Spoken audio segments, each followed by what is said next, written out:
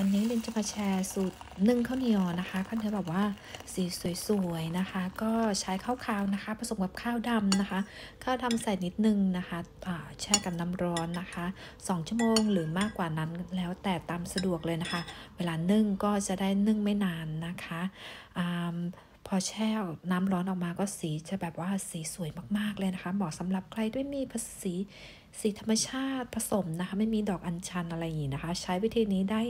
ได้ผลเลยทีเดียวนะคะ เดี๋ยวลินก็จะมานึ่งนะคะ ถ้าเกิดเราแช่นานก็จะนึ่งแป๊บเดียวนะคะสุกนะคะอาพอนึ่งออกมาก็จะได้แบบนี้เลยนะคะ ดีต่อใจมากๆนะคะ ไว้ทานกับเนื้อนะคะ วันนี้ทำเนื้อ เนื้อย่างนะคะ ไม่ใช่ย่างเนื้อทอดนะคะ ใช้ทอดแบบหม้อไร้น้ำมันเอานะคะ คือทำแบบเร่งด่วนอะไรอย่างนี้นะคะ แม่อยากทานแบบนี้นะคะ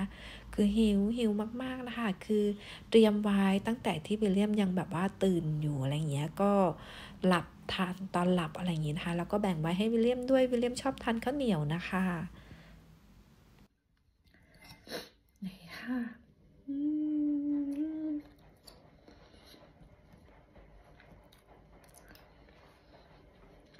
อร่อยมาก เนื้อหมักแบบว่าหวานนำค่ะหวานนำดีต่อใจมากไม่เริ่มหลับ เดี๋ยวแบ่งไว้ให้